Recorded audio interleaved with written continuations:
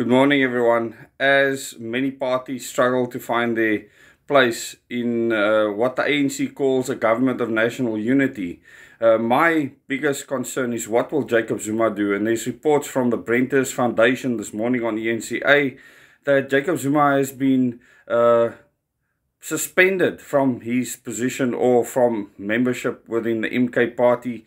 I mean, the, the, the buffoonery that's going around right now is really ridiculous. And the Brenters Foundation, famously, uh, who's run by the Oppenheimers, uh, ran the regime change conference.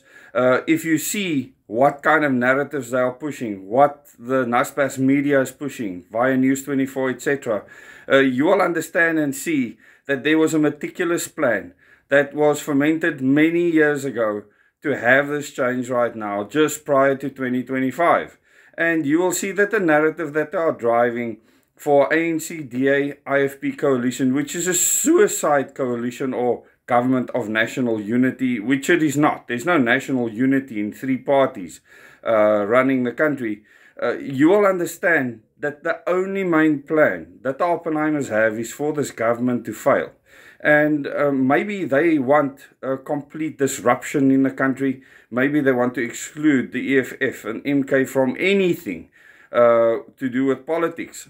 And uh, the Oppenheimers have never cared about the people of South Africa. They've used them to dig out our minerals and then sell it on the overseas market. That is what they represent. And a lot of people worship the ground they walk on. Uh, these are the very people that vote for the DA because the DA is funded mainly by the Oppenheimers.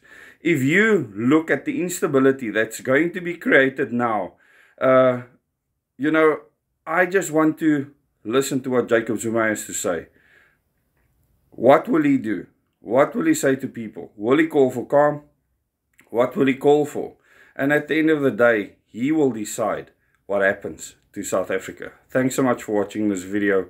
And uh, yeah, just remember, there is not enough military or police to stop uh, the MK forces on the ground. Thanks.